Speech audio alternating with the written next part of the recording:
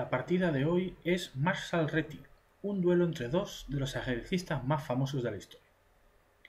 Frank Marshall era un jugador estadounidense que fue dos veces campeón de su país y cuyo mayor logro ajedrecístico fue llegar a enfrentarse contra Manuel Lasker por el título del campeón del mundo. Marshall no pudo ganar aquel duelo, pero que consiguiera ser el retador durante aquel match nos da una idea de su categoría ajedrecística. Por su parte, Reti es un reconocido jugador checoslovaco cuyo nombre nos sonará a todos por la famosa apertura que lleva su nombre, la apertura Reti. Una apertura que, por cierto, hizo su aparición en este mismo torneo que estamos analizando. Marshall llevaba las piezas blancas y comenzó la partida con D4, a lo que Reti respondió con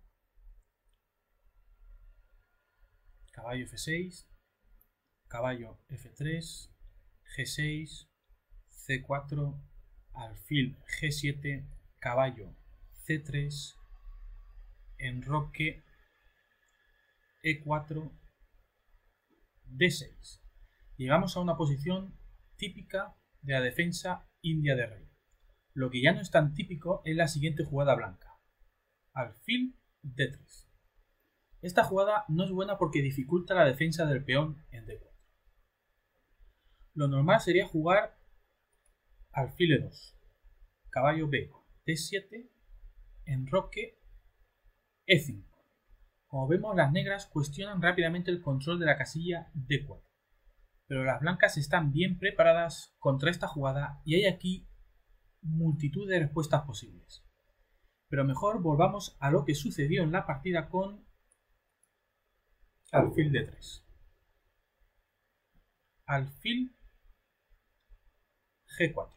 Clavando el caballo, entre otras cosas, porque el alfil blanco está en D3. H3, alfil por F3, dama por F3, caballo F, D7. El caballo se retira y deja en evidencia la indefensión del peón en D4. Además, cuando ese peón avance, quedará disponible la casilla E5. Alfil E3. C5, D5. El blanco obtiene más espacio, pero ahora el negro puede jugar caballo E5, tocando a la dama blanca y al alfil en D3. Las negras han igualado completamente. Reti puede estar muy satisfecho de cómo se ha desarrollado la apertura. Dama e2. Caballo por D3. Jaque. Dama por D3. Caballo D7. Al otro caballo también le gusta la casilla E5. Enroque. Dama A5. Alfil D2. Tocando a la dama a través del caballo. Aunque la descubierta no parece peligrosa, este tipo de jugadas deben siempre analizarse con cuidado. A6, caballo D1. Aunque no gana material, esta descubierta tiene la virtud de ganar un tiempo para que el alfil blanco se coloque en la gran diagonal. Dama C7, alfil C3.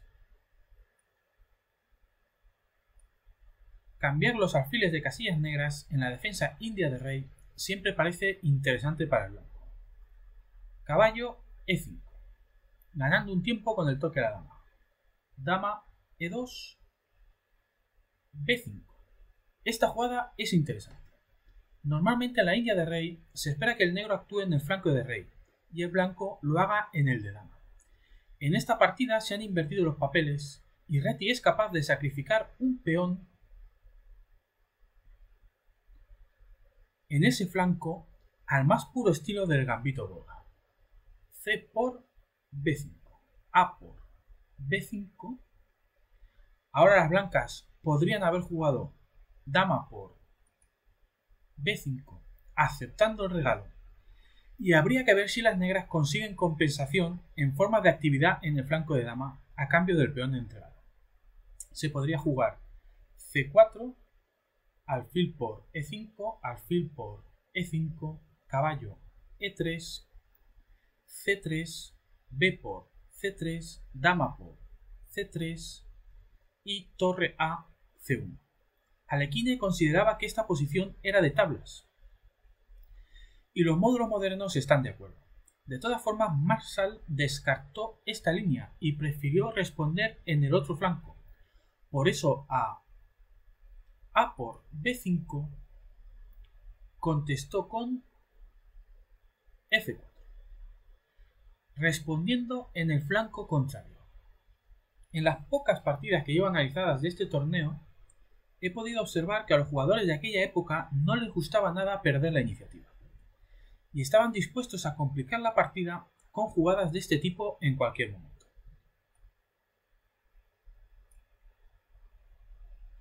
Caballo C4.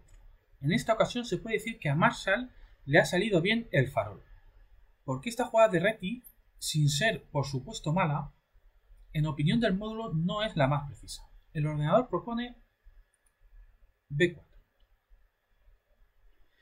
entrando en una línea muy complicada, donde he dejado al ordenador pensar un buen rato para llegar a la conclusión de que la única respuesta correcta para el blanco es alfil por E5. Y ahora atención porque a D por E5 las blancas no pueden en ningún caso comer ese peón para evitar que se abran las diagonales de la dama y el alfil. Deben jugar la precisa F5, dejando que las piezas negras choquen con el peón en E5. Y ahora es el negro el que debe encontrar la jugada C4. Llegando a una posición compleja donde la opinión del módulo es de ligera ventaja. Como vemos, todo se complica mucho después de F4. Pero nada de esto ocurrió en la partida. Volvamos a la posición después de caballo C4. Alfil por G7. Rey por G7. La posición ahora está igualada, pero serán las negras quienes mantengan la iniciativa y las blancas quienes deban defenderse. Quería destacar que la ruptura en E5 está totalmente controlada por el negro. Caballo C3. Dama A5. Las negras no se limitan a evitar la ruptura del blanco y buscan crear problemas en el flanco de dama. Siempre jugadas activas, siempre buscando la iniciativa. Ahora a E5 se puede contestar con dama B4, tocando en B2, torre F2, F6, A3, y dama b3 con una posición complicada, pero según el módulo igualada. Esta línea en concreto era la recomendación de Alekhine y posiblemente sea la más coherente con la jugada f4, pero en esta ocasión Marshall se decantó por a4. Suele decirse que no hay que avanzar los peones del flanco que está siendo atacado, pero en esta difícil posición es complicado que los consejos generales tengan validez. Aquí hay que calcular mucho y ser muy concreto y preciso. Dama B4.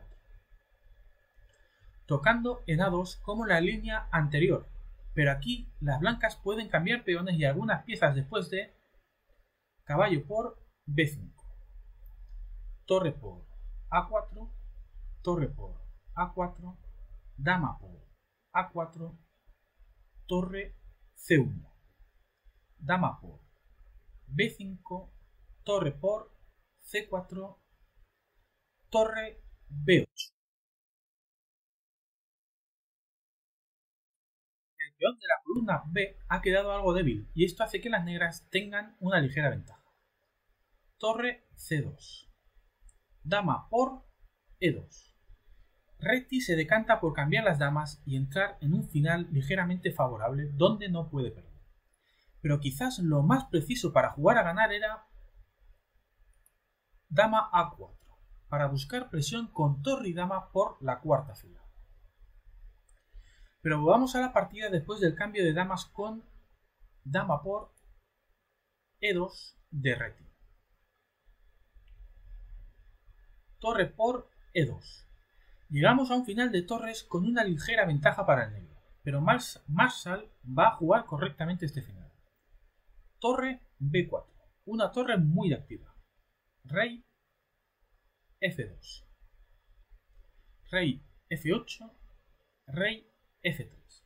El rey ayuda en la defensa de E4 aliviando el trabajo de la torre blanca. Torre D4. Amenazando al peón de D5 con el avance F5. Hasta aquí el negro ha jugado un final perfecto y está cerca de poner en, apuros graves al blanco. G4.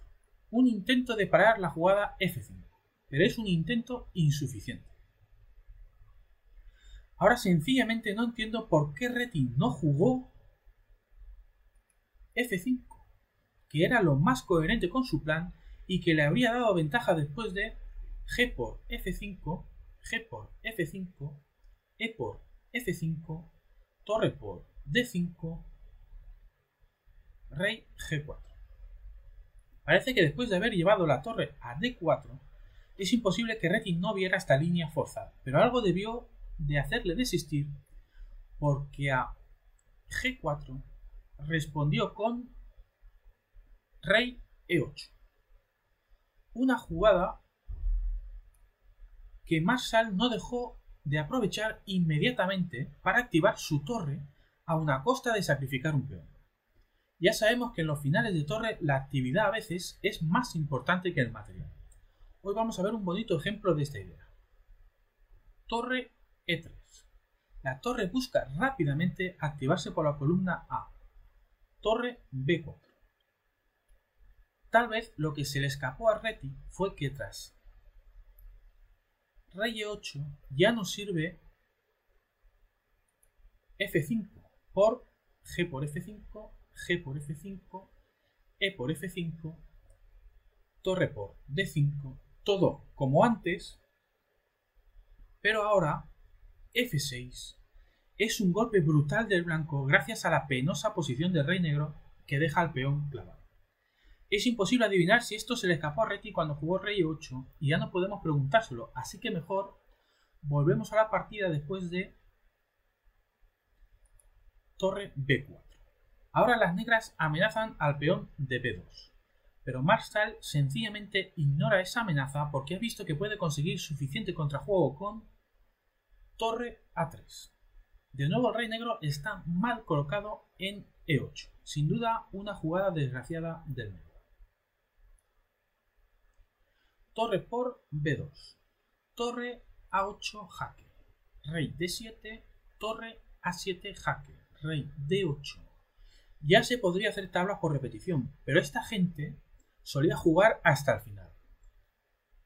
E5. Marshall decide forzar un poquito más con la tranquilidad de que siempre tiene los jaques por la columna A. D por E5. F por E5. Ahora mismo es como si hubiera un peón pasado por cada bando. C4. Las negras lanzan su peón. Rey E3. Nunca hay que descuidar un peón pasado. C3, torre A8, jaque, rey C7, torre A7, jaque, rey D8, torre A8, jaque, rey C7, torre A7, jaque. De nuevo se amaga con las tablas por repetición, pero ahora es Reti quien lleva la partida un poco más allá. Torre B7, torre A3. Como vemos, la torre blanca ha mejorado mucho en la columna A. C2, torre C3, jaque, rey D7, torre por C2, torre B3, jaque, rey D4, torre por H3, torre A2. La torre vuelve a su columna preferida. Torre G3. El peón ha quedado indefenso, pero no habrá ocasión de comérselo. Torre A7 jaque. Rey D8. Torre A8 jaque. Rey C7. Torre A7 jaque. Rey D8. Y ahora sí, se firmaron las tablas por repetición. Veamos que las negras no pueden forzar más si intentan evitar los jaques con Rey B6, los peones blancos se vuelven muy peligrosos porque ya están muy cerca de la coronación, a diferencia de los negros. Torre por E7, torre por G4, jaque, rey E3, torre G3, jaque, rey E4, torre G4, jaque, rey F3, torre G1, D6. Un peón pasado en sexta es una amenaza muy seria. Torre F1, jaque, rey E4. Y ahora es el negro el que debe forzar las tablas con jaques continuos, porque otras jugadas llevan al desastre. Por ejemplo, fallaría intentar parar los peones con el rey porque a rey C6 las blancas tienen un recurso espectacular. Torre C7 jaque, rey B6 y ahora una jugada que conviene mantener en la memoria. Torre por F7. Un sacrificio brillante cuya clave es que los dos peones blancos están en sexta. Son imparables. Torre por F7. E6. Estos peones, como digo, son imparables. La torre está mal colocada y el rey demasiado lejos. Torre F5.